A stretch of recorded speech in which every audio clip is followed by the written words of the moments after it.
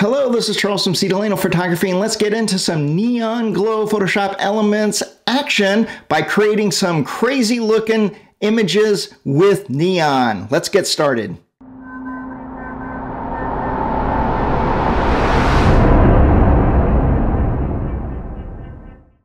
First, I want to thank Alena over at Pexels. If you want to see her work, go check out pexels.com and look for Alena Darmel over there. Now, you want to use a photo that has some reflections to it. Right here, as you can see, we have this red glow, and I'm going to put this neon triangle, which you've probably seen on many Photoshop tutorials, but today we're going to do it in Photoshop Elements. Over here, you can see that there are some characters over there that I've placed over here on the side, and we are going to make those neon as well. So let's jump in, get started by removing all these layers and trashing them so that we can start off with a clean palette.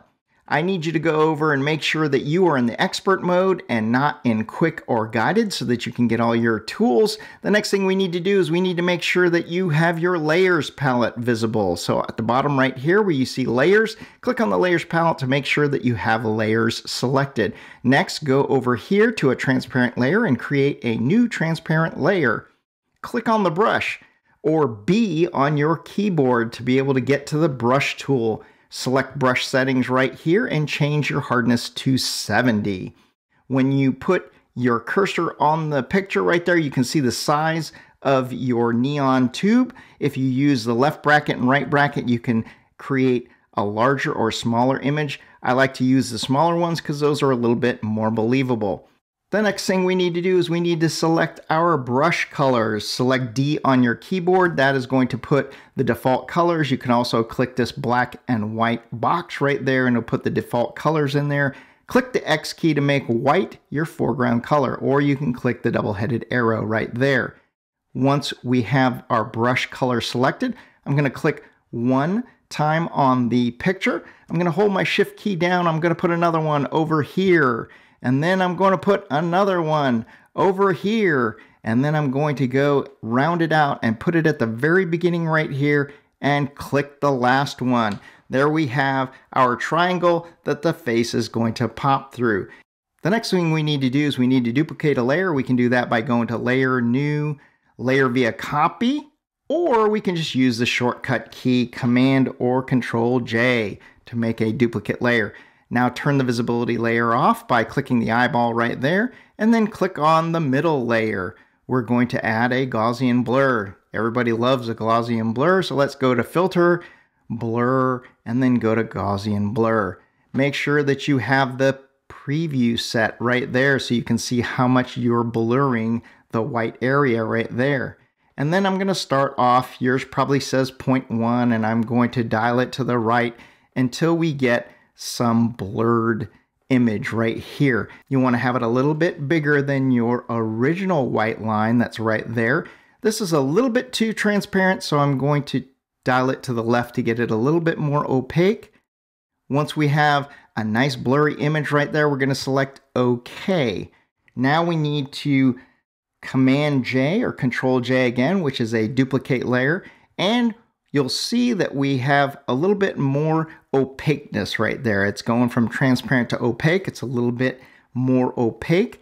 Now we need to hold the shift key down and click the layer below it so that both these layers turn blue. Then we're going to click on the group layer right there. It's going to turn that into a group. You can see if I click this down arrow, our two layers are installed right there. Then we're going to click another transparent layer right there and then we're going to select a color on the face. Now, in order for this effect to look really great, the image needs to be a little bit darker, reflections are great, and some of these color casts are great. So I'm going to pick the eyedropper tool. I'm going to select the color that is on the face that would be reflecting the neon tubes. And then I'm going to fill that inside our transparent layer. You can go to Edit, Fill Layer, or you can use the keyboard shortcut Option or Alt and then click the Delete or the Backspace key. That will fill that layer with that red color that we picked from the face. Now we need to make a clipping mask by right clicking on the second layer right here and go to Create Clipping Mask. Now we have our neon reflection, we just need the neon tube.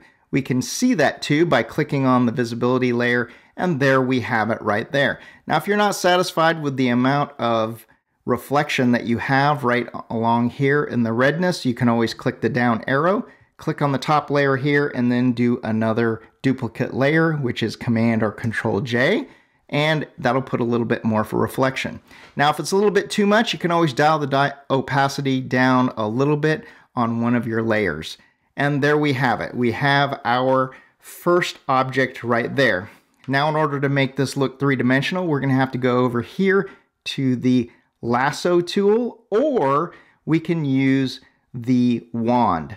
Now, underneath the wand options right here, you go down to the tool palette and you can go to quick selection right there. And we are going to drag a quick selection around the person right there. And we are going to create a selection of the person. Now try to do the, your best to do a good selection because what we're gonna do is we're gonna erase this area back here using a layer mask. Okay, now I have this girl selected right there. I want to hold the shift key down, click on the layer one, and then click on the very top layer and we're going to make a new group out of that one right there. And then we need to create a mask right there. And as you can see, the mask is opposite of what I want. It is actually erasing everything outside of the image of the person. So we're going to use the keyboard shortcut Command I. And as you can see now the fluorescent neon type tube is behind her right there. But we need to put this one leg of this neon tube right here, we need to put it back. And we're gonna do that by clicking on our paintbrush or clicking B on your keyboard to make sure that we have our brush tool. Now, in order to paint this, I'm going to create a larger brush by using the right bracket key. I'm gonna click here, I'm gonna hold the shift key down, and I'm gonna click over there, and it's going to return that area of our mask. And so now it looks like this is going around our subject right there. So that's the first part of this. The next part is we need to look and see about creating something that is reflecting in the eye. Obviously, she's looking over here, but we want to put this reflective item over here. So now what I'm going to do is I'm going to create another transparent layer right here.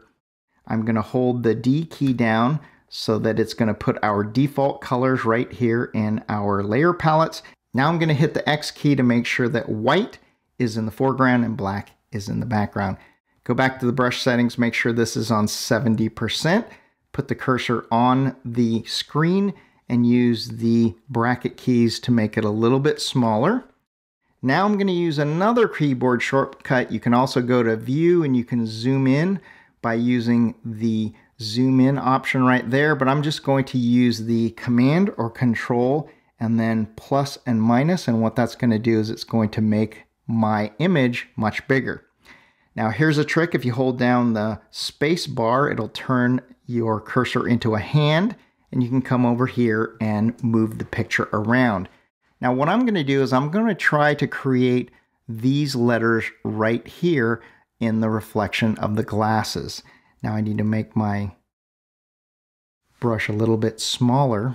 As you can see, there's some weird characters that are on there and it doesn't really matter where I put them, but I want to make sure that I get the characters the way that it's reflecting in her glasses. So I'm going to go here and I'm going to paint with white with something like that. And then there's like this little um, caret symbol with a line through it that's underneath. So we have this line that's like that. And then we have this caret symbol that's like this, something like that. And then we're going to go hold the space bar down a little bit. And then we're going to go down. And then underneath is like a little six image right here. And then underneath that if I hold the space bar down, I'm going to go under, there is a line and then there is a C under that. So now we have a line underneath here. I'm going to hold the space bar down after it writes that. Move that up. and then we have this C symbol that's something like that. Now what I can do is I can hit Command or Control 0. That will take us back to the size. And then we can hit Command or Control T. And what that will do is that will allow us to move this and then resize it. So I'm going to bring this way over here. And then I'm going to get close to the corner there. I'm going to move it a little bit right there. And then maybe I will make it just a tiny bit smaller. If you hold the command or control down, you can skew the corners a little bit right there if you want to skew those corners. And then when you're happy with what you have, click the green checkbox right there and there we have it. Now the only problem is, is that's not the way it would look. We need to flip this image because it is a reflection in the sunglasses. We're gonna go to image, we're gonna go to rotate, and we are going to flip the layer horizontally right there. Do the command T one more time, and then kind of put this right about there. Tick the green checkbox when you're done, and there we have it. Now we need to add the blue as you can see in there, we have a little bit of a blue glow to this. So we're going to do the same thing that we did before. We're going to do a Command J or a Control J to make a copy of that. We're going to turn the visibility layer off of that one. Click the layer underneath. Go to Filter. Go to Gaussian Blur. Just going to use the one from before. Do a Command or Control J to copy that layer again hold the shift key down to this layer right there and group those layers together. Then pick something in the color picker right there on the foreground color. We're going to pick like a blue color over there because it's kind of a blue color. And then we are going to add a new transparent layer above that. We're going to hold down the Option or Alt key and hit Delete or Backspace to fill that with blue. We're going to right click on that layer going to create a clipping mask right there, and that is going to create our blue glow. Then we're going to turn the visibility layer on right there, and there we have our neon glow. Now, if you don't think that it's enough of a neon glow, you can hit the right arrow right here under the group three, and you can create a couple more layers of the blue glow by hitting Command or Control J. And as you can see, that increase the amount of blue glow that we have right there. And there we have it. Really, all you need to do for this method is be able to create a clipping mask and use the grouping method along with the Gaussian blur. If you haven't done so already, please give me a thumbs up and a like, and stay tuned for more Photoshop Elements videos.